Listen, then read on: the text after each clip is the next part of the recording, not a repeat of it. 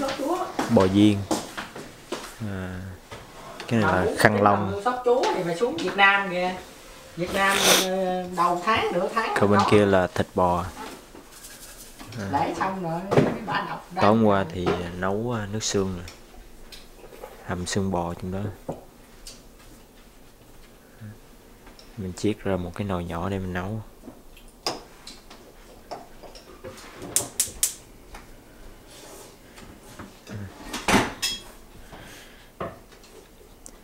thì dưới đây? Có lót cái tấm bạc nó còn nên nó không có dính dưới cái ờ, cái bếp của mình. nhưng mà cái này mình nấu đồ ăn thường xuyên á thì nó nó, nó nhiễu đồ xuống. Trễ mà Nếu mà đi lễ trễ á Này nghĩ mới chở mình Ờ nhí ơi. Dạ Con coi cái cái cái account này á Con vô tiền giùm 10 được không? nhà băng á người Ờ nhà băng có mùi là nhà băng gì đã nói là coi như là cái hàng tiếp nó mượn tiền mừng Dạ. mà giờ á một là đi qua mạc mua món này đồ gửi cho nó Dạ. mà 27 tay này nay mấy tay này 27 tay này nó đi thiêu quốc tịch rồi Dạ. bởi vậy làm biết không biết làm sao nói à là là nạp tiền vô nhà băng của ảnh hả người à nộp tiền nó có cho cái số cao quá không à. Nộp được phải không? Account nó để con ra nhà băng con hỏi coi. Tại vì con chưa mình giống như mình thì mình ra mình nạp vô cái nhà băng của mình thì được. Còn không biết mình lấy tiền mặt của mình mình nạp vô cái nhà băng của người bây, khác. bây giờ à, coi như là bây giờ mà con con lấy tiền 10 con nạp vô nhà băng con được không? Xong rồi con con mới chuyển từ nhà băng con chuyển qua cho nó. Ờ, chuyển qua. Để con ra con hỏi nhà băng coi ví dụ như mình muốn ờ, trả tiền cho người khác mà không có người khác ở đây á, thì mình làm sao? Tại cái đó con cũng con cũng chưa làm nên con không biết. Để ngày mai con hỏi thử coi. Nếu mà được á thì mình ờ, mình đưa tiền cho nó chuyển cho mình phải không? Dạ. thì có cái account number thì chắc được. Này mình trụng trước. Này đi mua, đi mua trụng cho nó chín Ừ. Giờ làm không được. nãy mình ờ, trụng bò viên với lại trụng khăn lông rồi. Giờ trụng cái Thịt bò. được.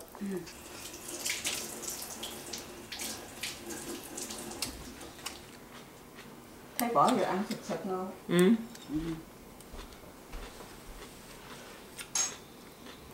nó mình ruột riêng á Ừ, bỏ rồi.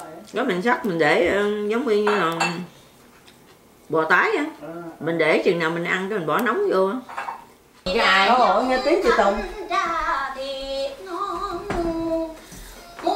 Về để tặng bà con bởi em đây bán ngọt ngon như đường Trời ơi, ngọt hay ớt luôn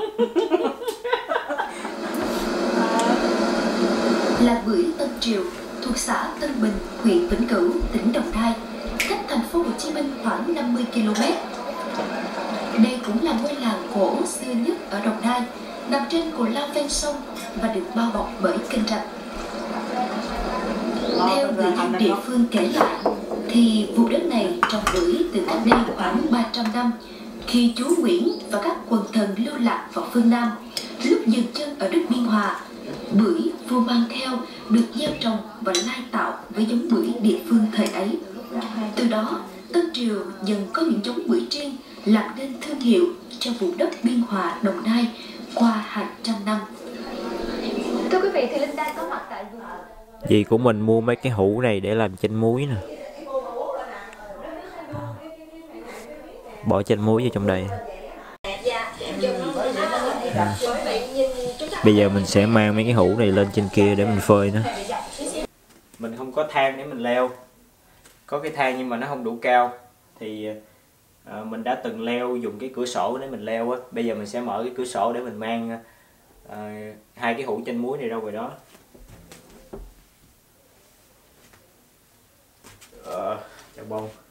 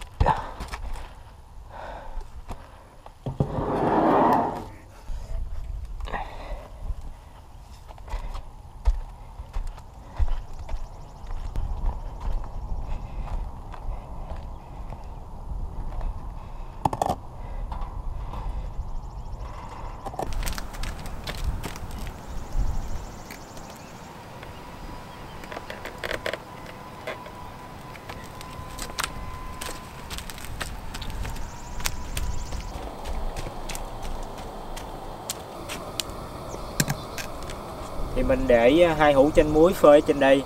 Ở trên đây nó có nhiều nắng hơn á. Ngay cái này là cái ống khói á. Cái chimney cái ống khói.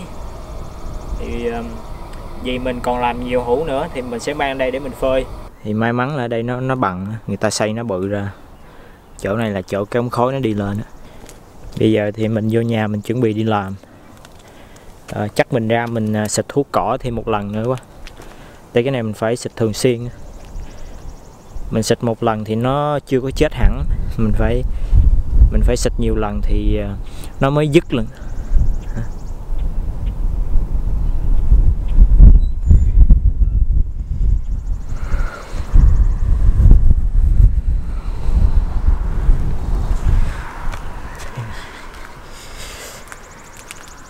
Đây là cái cửa sổ phòng của mình. Kế bên là cửa sổ phòng ba mình, Còn bên kia là cửa sổ phòng của 10 Phòng của em với mẹ mình thì nó nằm ở phía bên kia. Bây giờ thì mình đi vô. À, Mình sẽ hẹn gặp lại các bạn vào à, à, Có thể là chiều nay hoặc có thể là ngày mai. À, Bây giờ mình à, chuẩn bị đi làm. Bye.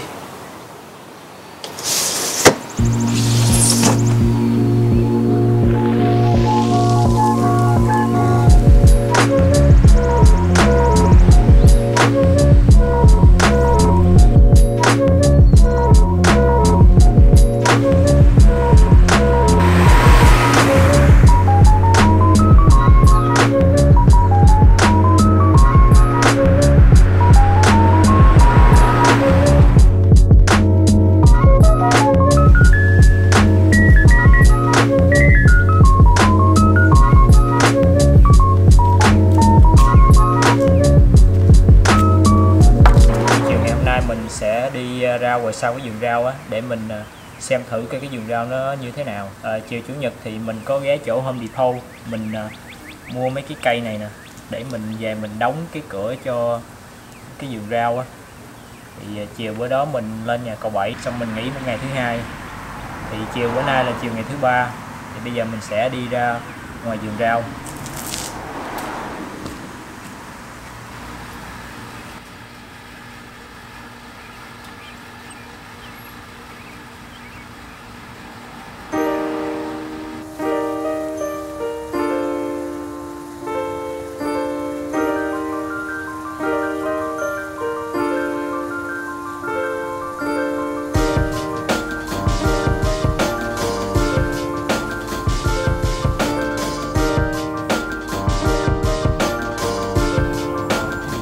Đằng sau mình là cái vườn rau.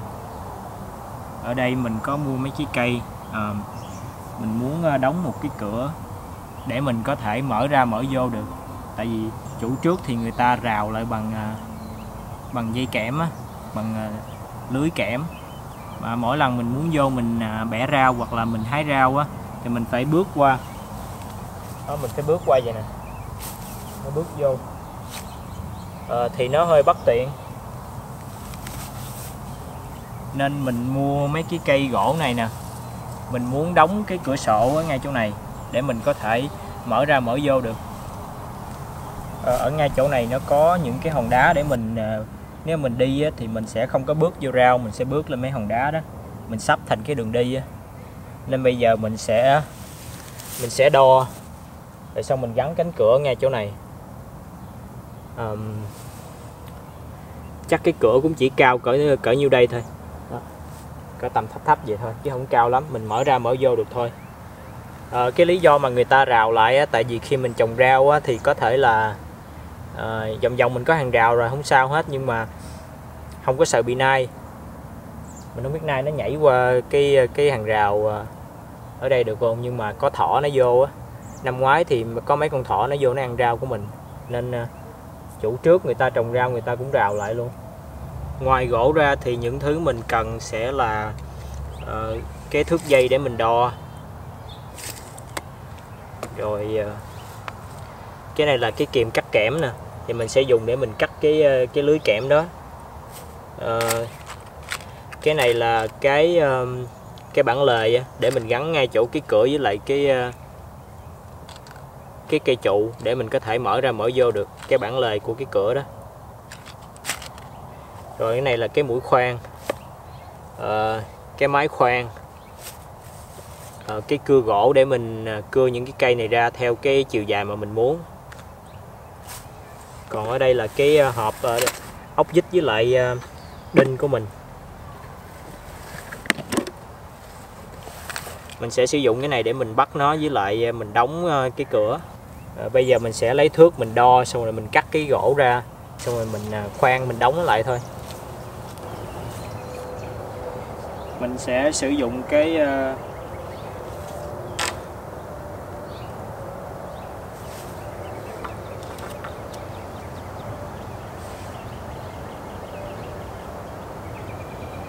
có thể là lấy cây này để làm trụ nè.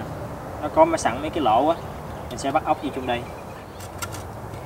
Mình đánh dấu nó trước cái đã. Tại vì mình muốn nó cao cỡ như vậy nhưng mà mình sẽ chôn cái chân nó như đây nè cho nó cứng. Mình đóng cái chân nó xuống đất á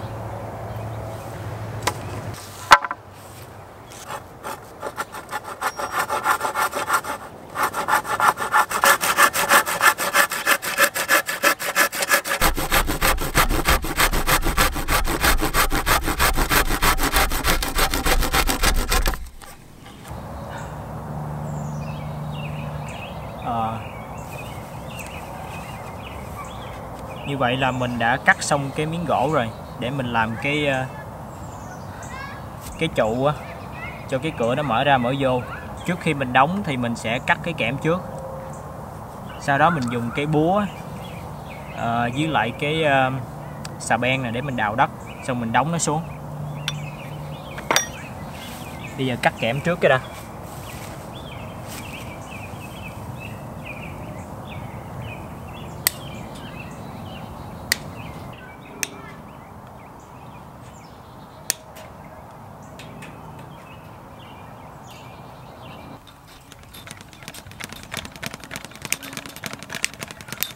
Vậy là mình đã cắt xong được một bên rồi.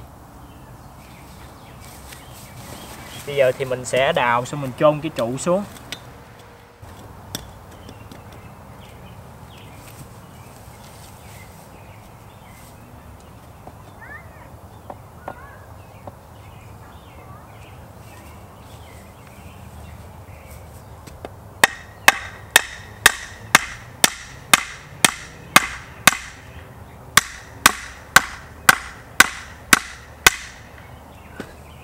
Cái đất này nó cũng mềm á. Mình là dùng sức mình đóng mạnh xuống là nó xuống à. Bây giờ mình thấy nó hơi chặt chặt rồi đó.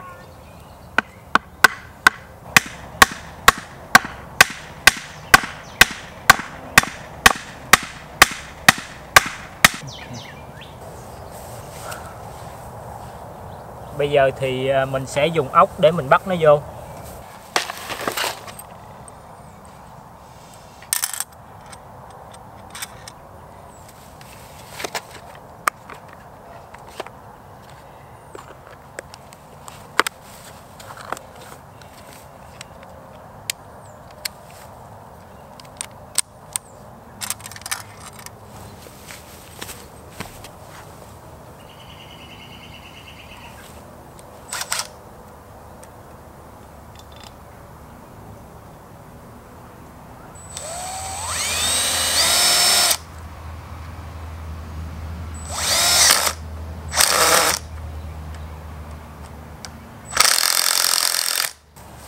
Thấy con ốc này nó hơi dài, mình kiếm ốc nó ngắn hơn. Thì mình khoan cái con ốc đầu tiên á, nó hơi bị dài nên nó nó dư ra một một một một khúc luôn. Bây giờ mình sẽ kiếm cái con ốc nó ngắn hơn, nhưng mà mình sẽ khoan thêm một lỗ nữa thôi. Rồi mình sẽ bắt đầu làm cái ờ, cái cửa. Mình muốn coi nó mở ra mở vô được hay không á, trước khi mình khoan hết. Nó còn cái lỗ trên đây nữa xong rồi hai lỗ ba lỗ ba lỗ à, dưới đây một lỗ nữa bốn lỗ. Ừ. Thì cái thanh này là thanh à, thanh mình mua cái thanh nó to để mình làm cái trụ. Còn những cái thanh nhỏ nhỏ thì mình sẽ sử dụng. Kích cỡ nó nhỏ hơn thì mình sử dụng để mình đóng cái cửa. Kiếm con ốc nào nó ngắn ngắn này. À. À, cái con này cũng được nè.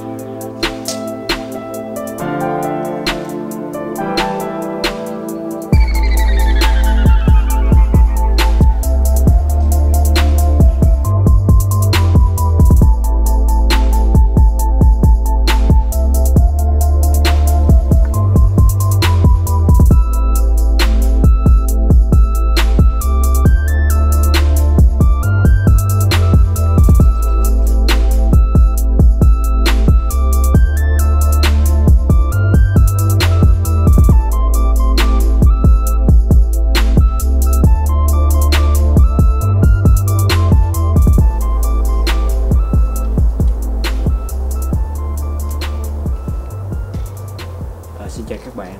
Thì hôm nay là bước sang ngày thứ ba rồi. Ba ngày rồi mình chưa có quay xong cái video này. À, một ngày thì mình có quay một chút chút. Thì à, sau 3 ngày quay phim thì mình mới xong một cái video. Bây giờ mình sẽ quay tiếp nữa để mình bỏ vô cái video của mình nữa. Thật ra cũng chưa xong nữa. À, đây là cái cảnh mà mình à, và mẹ mình gắn cái cánh cửa cho cái vườn rau phía sau nhà ngày hôm qua. Thì ờ, ngày hôm qua đã làm xong xuôi hết rồi nhưng mà do trời tối á, thì mình có quay lại nhưng mà cái hình ảnh nó không có được rõ lắm. Tại ban đêm thiếu ánh sáng á. Thì bữa nay mình sẽ ra ngoài đó mình làm tiếp cái công việc ngoài đó. Thật ra cái cửa nó gắn xong rồi nhưng mà còn một số cái công việc lặt vặt nữa. Sẵn tiện thì mình sẽ quay lại cái cánh cửa đó. À, vào sáng bữa nay thì ờ, các bạn sẽ thấy nó rõ hơn. Bây giờ mình cùng đi ra ngoài sau giường để xem cái cánh cửa đó nha.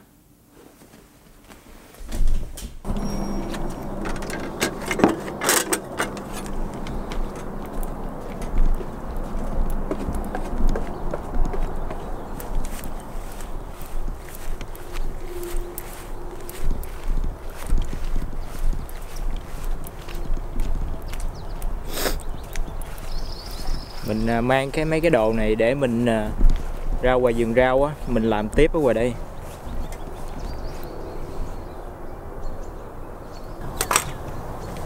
Thì đây là cái cánh cửa mà mình đã đóng nè. Mình có thể mở nó ra, đóng nó lại.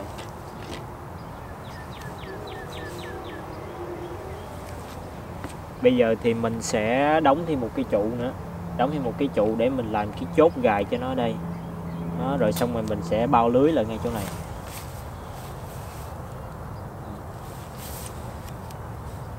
Mình có dư cái cây ngày hôm qua mình cưa thì nó còn dư một khúc. Ờ, chiều dài thì nó đủ á. Ờ, nên mình sẽ không có sử dụng ờ, không có sử dụng mấy cái đầu này nữa.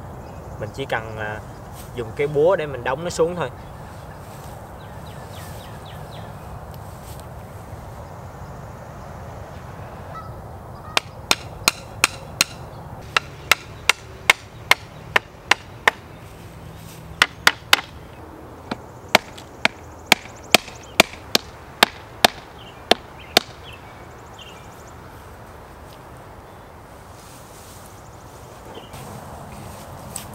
À, xong rồi thì mình sẽ dùng cái ờ, phần lưới kẽm ngày hôm qua còn dư á, thì mình sẽ bọc lại cái phần trống này với lại mình ờ, sẽ bọc vô cái cánh cửa luôn. Mình mở ra mở vô mình bọc nó lại luôn.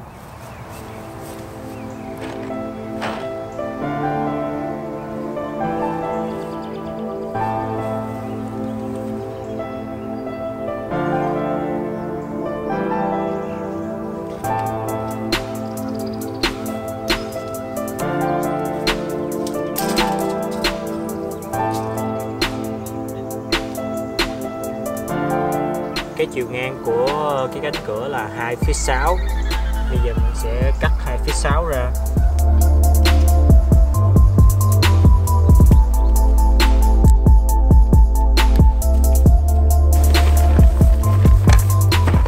Bây giờ thì mình sẽ gắn nó vô trong cánh cửa. Mình sẽ lấy đinh mình đóng á. Nhưng mà mình đóng xong rồi mình à, mình bóp nó lại á, cho nó dính vô trong cái gỗ luôn.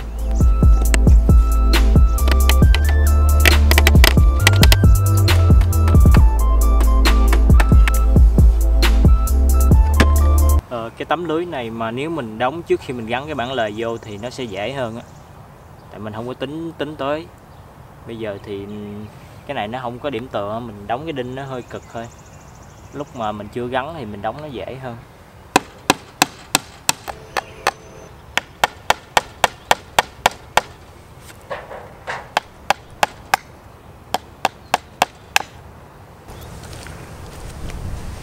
Bây giờ thì mình sẽ nối cái ờ, cái hàng rào cũ lại.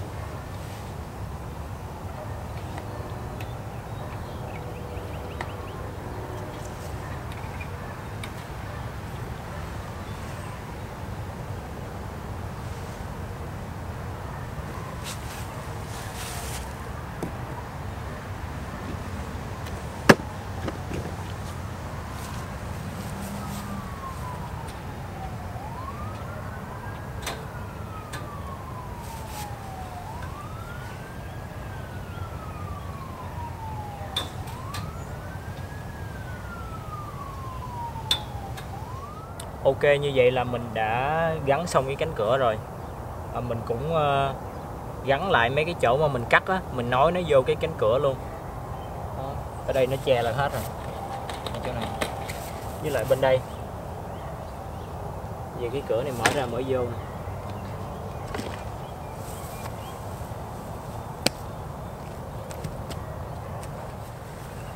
Ờ, thì nó đơn giản vậy thôi. Mình tính mua cái chốt nữa nhưng mà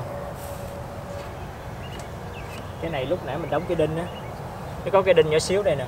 Đó, mỗi lần mình mở thì mình chỉ cần nhắc cái cây này qua tí xíu thôi. Nó có cái đinh ở đây nè. Đó cái đinh nhỏ nhỏ này nè. Mình đóng nó ngang qua bây giờ nó cũng như là cái chốt nó gài lại luôn rồi. Đó. ngay đây nó móc lại nó móc cái cây này lại. Đó. thì ờ, cái cửa này chỉ để chặn vậy thôi. Ờ, mình mở ra mở vô mình dễ dàng để mình bước vô cái vườn rau của mình hơn ở dưới thì lót đá nên mình không có bước lên đất hoặc là lên rau ha. nếu mình muốn đi hái rau mấy cái bụi giáp cá vậy nó lên quá trời luôn.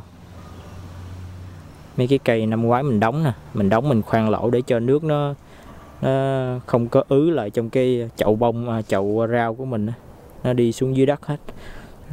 Bây giờ thì à, mình đi vô đó, có cái cửa thì nó dễ. Bước ra bước vô lúc trước khi có cái hàng rào đó, mình phải leo thì nó cực hơn. Đó cái đinh nó chốt lại rồi. Nó từ từ cái cây này lên chắc mốt cắt cắt bỏ cái cây này. Hoặc là đóng xuống nữa. Ở dưới nó không có đá. Nãy mình đóng mình không có thấy đá dưới. Thì mình đóng cho nó lún xuống luôn. Còn mấy thì cứ để vậy.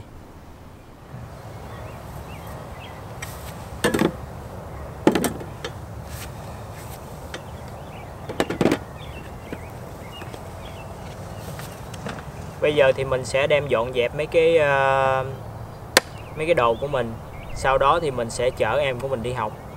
Tại vì bữa nay xe bus nó gọi cho mình nó nói là xe bus giữa đường nó bị hư á.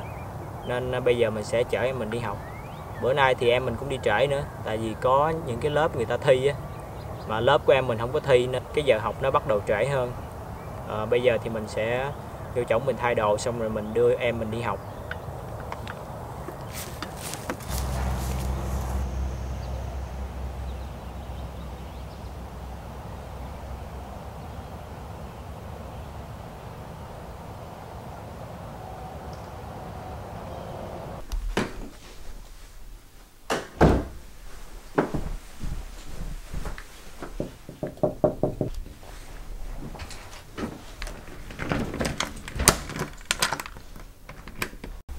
Đi ngọc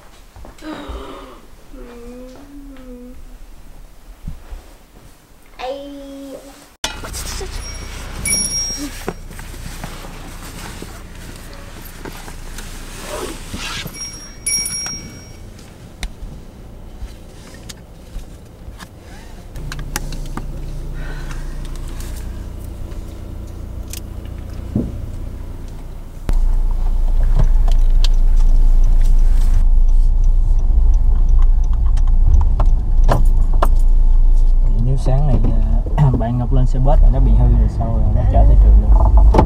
Ờ, bạn em đi xe bus khác. Có Linh là đi chung với em Nhưng mà nó đi khác giờ thôi.